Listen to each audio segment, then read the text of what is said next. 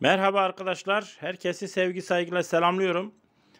Borsa mı, gayrimenkul mu, ev mi, ikinci, üçüncü ev mi almak? İşte e, Engin Tekcan Bey'in e, videolarımın altına yazdığı yazıyı size okuyarak tercihi size bırakıyorum.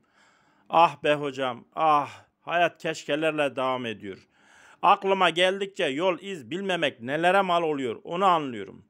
2010 yılında kooperatiften aldığım evimi sattım. 80 bin TL vardı.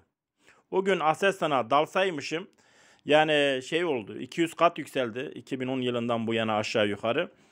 Ee, şu an milyonlarım olurdu diyor. 200 ile çarpın 80 bini. Arkadaşlar 160 milyoncuk ediyor.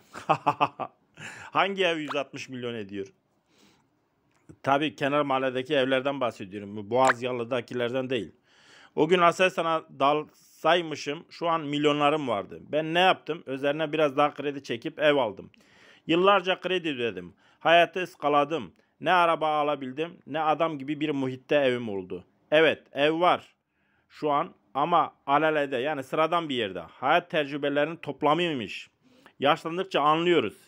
İşte arkadaşlar yani bu keşkeleri ileride diğer insanların dememesi için durmadan borsaya anlatıyorum size.